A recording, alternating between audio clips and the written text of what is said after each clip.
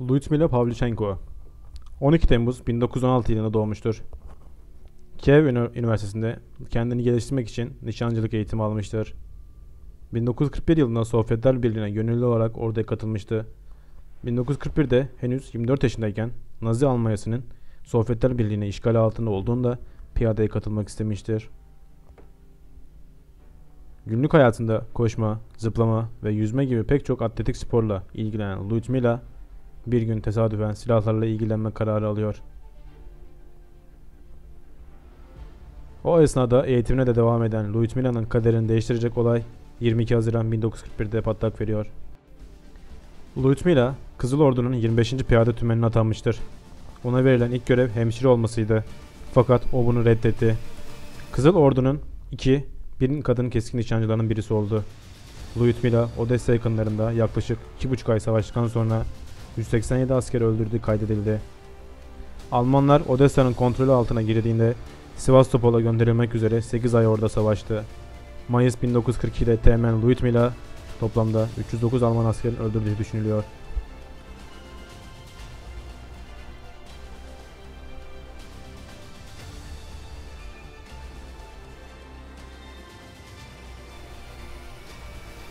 Simo Hayha 17 Aralık 1905 yılında doğmuştur. Lakabı Beyaz Ölüm olarak bilinen bir Fin keskin nişancısıdır. Savaşlarda onaylanmış 505 asker öldürme rekoruna sahiptir. Hafif makineli bir tüfek olan 9 mm Suomeli ile 200 düşman askerini öldürerek bu sayıyı 705'e çıkartmıştır. Bu sayıya 100 günden kısa bir sürede ulaşmıştır. Rus yapımı olan Mosin Nagant tüfeğinde ayrı bir dürbün kullanmayıp bunun sebebi mevcut olan optik dürbün yüzünden nişan alıp atış yapmak için kafasını daha yukarı çıkarması gerekirdi. Bu da hedef olan riskini arttıran bir dezavantajıydı. Ayrıca mevcut optik dürbünlüğü buğulanabilir ya da dürbüne vurabilecek bir ışığın yansıma yüzünden yerini belli edebilirdi. Mevcut olan demir nişanını kullanmıştı.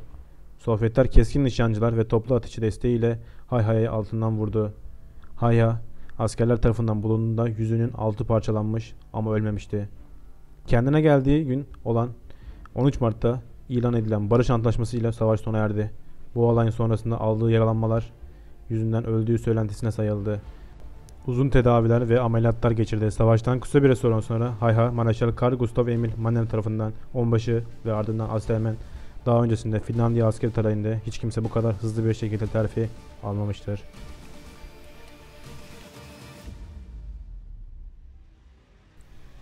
Alvin York Babası William York, Kasım 1911 yılında öldüğünde Alvin küçük kardeşlerinin bakımını üstlenerek annesine yardımcı oldu.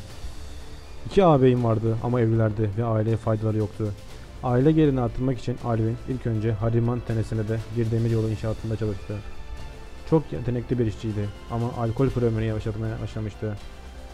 Alvin o sıralarda takıldığı batakhanelerde birçok kavgaya karıştı ve defalarca tutuklandı. Bir pasifist ve protestan mezhebinin mensubu olan annesi onu düştüğü bataktan çıkarmak için çok uğraşmıştı.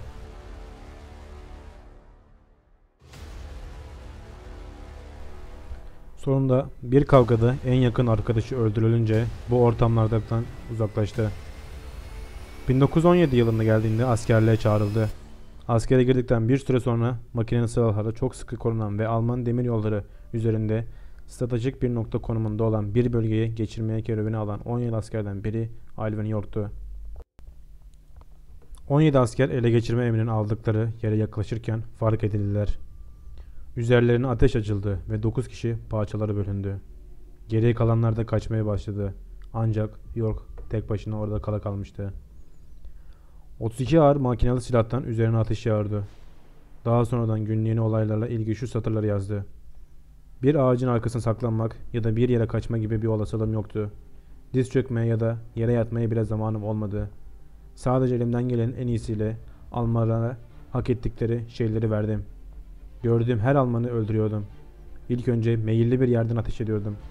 Daha sonra da uzanarak ateş etmeye başladım. Evimdeyken bu pozisyonda kuşlara sapanla bir şeyler atardım. Kuşlardan daha büyük olan Almanları vurmak zor olmadı. York'un karşı ateşi 20'den fazla askeri öldürdü. York'u öldürmek için Alman komutanlardan birisi 5 kişiyi görevlendirdi. Ancak York 45'lik koltuğunu çıkartıp bu 5 kişiyi daha öldürdü. Bu noktadan sonra komutan Paul Jorgen Walmer York'a İngiliz olup olmadığını sordu. Birinci Dünya Savaşı'na pek dikkate alınmayan Amerikanlar yüzünden Walmer böyle soru sormuştu. York Amerikan olduğunu söylediğinde komutan ateş etmeyi çekeceğini bildirdi. 10 dakika sonra 133 esir Alman askeriyle beraber York Birliği'ne geri döndü.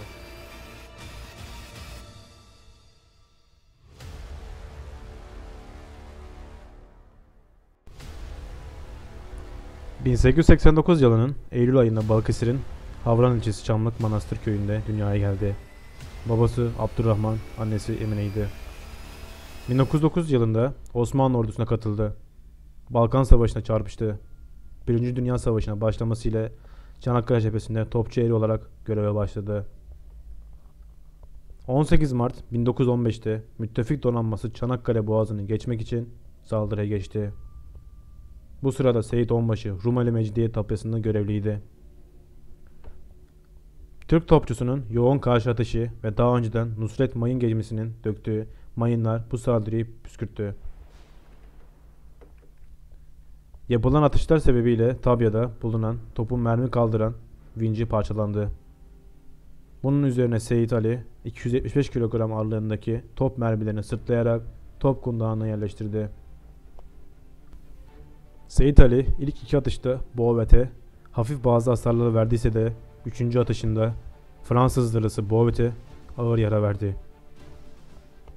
Atılan mermi geminin su gemi kesiminin biraz altına isabet ederek geminin anında yan yatmasına neden oldu. Daha sonra Nusret mayın gemisinin döktüğü mayınlardan birine çarptı. Bovet de bu yaradan kısa bir süre sonra alabora olarak battı. Bu başarısından dolayı onbaşılık ünvanı verildi.